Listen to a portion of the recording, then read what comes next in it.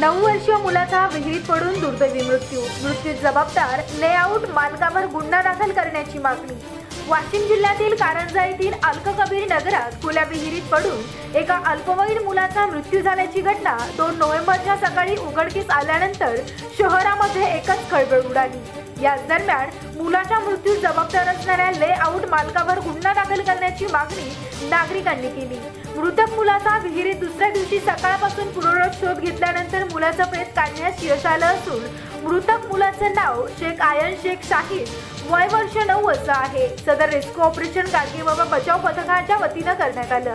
विहिरीला भरपूर पाणी असल्यानं रात्री दहा वाजेपर्यंत मुलाचा शोध लागला नव्हता. यावेळी तहसीलदार धीरज मांजरे आपल्या कर्मचाऱ्यांच्या हजर होते. तसेच हाजीमो युसुफ हे सुद्धा सकाळपासून घटनास्थळी हजर होते. या ठिकाणी लोकांची गर्दी वाढल्यानं पोलीस बंदोबस्त लावण्यात आला. अथक प्रयत्नानंतर मुलाचा मृतदेह बाहेर काढण्यात आपत्कालीन पथकाला यश मिळालं. रहिवासी क्षेत्रामध्ये अशा प्रकारच्या खुल्या विहिरी ठेवणं अत्यंत धोकादायक असताना संबंधित मालकानं प्लॉट विक्री करून निष्काळजीपणा केला. या घटनेमुळं संबंधित लेआउट मालकावर सदो गुन्हा दाखल करण्यात यावा अशी मागणी स्थानिक नागरिकांनी केली.